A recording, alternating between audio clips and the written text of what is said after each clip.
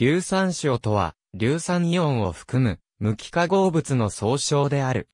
硫酸イオンは、中心の陽原子とそれを正四面体配置で囲む4つの、等価な酸素原子からなる。この対称性は、メタンの対称性と同一である。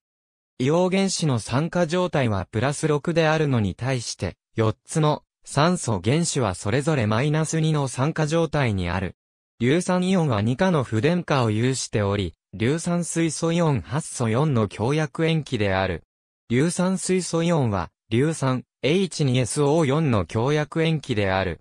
硫酸ジメチルといった有機硫酸エステルは共有結合性化合物であり、硫酸のエステルである。SO 結合長は 149pm であり、SO 単結合から予測されるよりも短い。例えば、硫酸における SO の結合長は 157pm である。硫酸イオンの四面体系構造は、ビスプ理論から予測される。硫酸イオンの二つのモデル。極性共有結合のみを持つ1イオン結合を持つ。に6つの共鳴構造現代的な用語による、硫酸イオン中の結合の初の描写は、ギルバート・ルイスによる1916年の革新的な論文でなされた。この論文でルイスは、結合を、それぞれの原子を囲む電子オクテットの観点から説明した。すなわち、二重結合はなく硫酸イオンの形式電荷はプラス2である。後に、ライナス・ポーリングは、最も重要な共鳴標準構造が D 軌道が関与する2つのパイ結合を持つことを提唱するために原子化結合理論を用いた。ポーリングの論拠は自身の電気的中性の原理に従って硫黄の電荷が減少するというものであった。SO 結合の短さを説明するためには二重結合が使われた。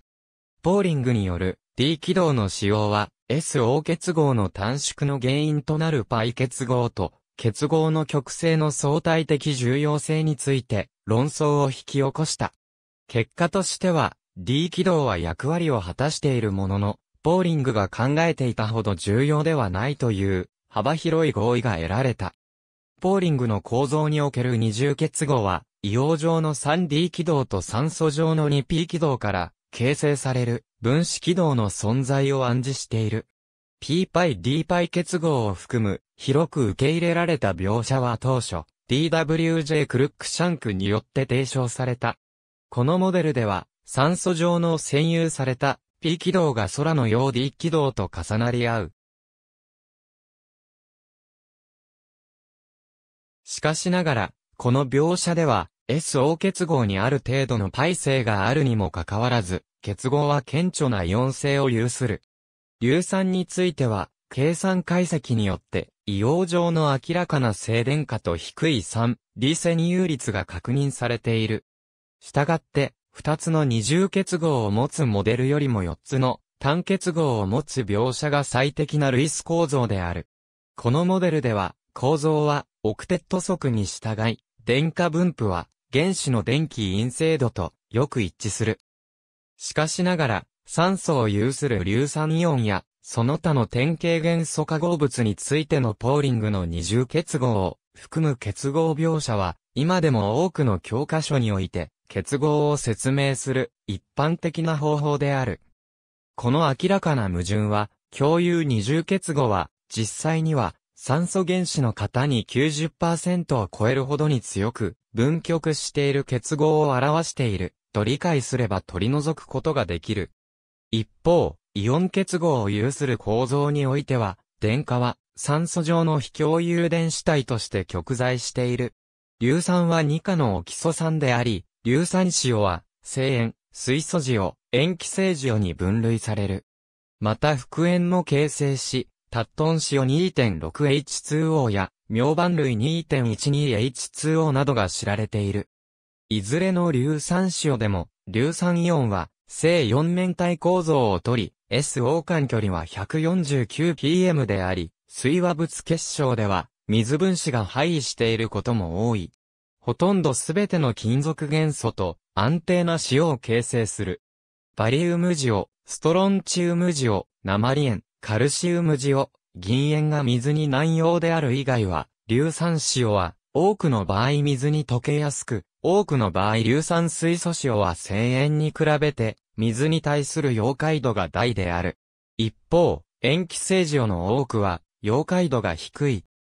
また、声塩のタリウム塩、カリウム塩は、無水塩が安定ではあるが、多くの場合には安定な水和物結晶を生成することが知られており、一般的に2価の金属塩は6ないしは7、水和物が安定であり、3価の金属塩はさらに高の水和物を形成する。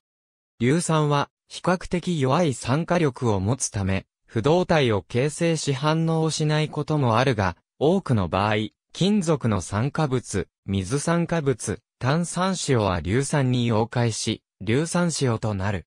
揮発性の酸を成分に持つ塩化物、硝酸塩も過剰の硫酸と加熱すると、それぞれ HCl、脳2を発生して分解し、硫酸塩に変化する。塩基性塩が強熱で熱分解するのに対して、アルカリ金属、アルカリド類金属元素の塩は熱に対しては、比較的安定である。一方、水素塩は、融点が低い。硫酸塩を炭素を還元剤として強熱すると、硫化物を生成する場合が多い。また、金属元素の交換を目的として、炭酸アルカリ金属塩と強熱すると、目的金属の炭酸塩が生成する。一般に、金属の酸化物、水酸化物、炭酸塩は硫酸に溶解し、硫酸塩となる。また、塩化物、硝酸塩も、過剰の硫酸と加熱すると、それぞれ HCl、脳に及び O2 を発生して分解し、硫酸塩に変化する。鉱物学において、硫酸塩からなる鉱物を硫酸塩鉱物という。ありがとうございます。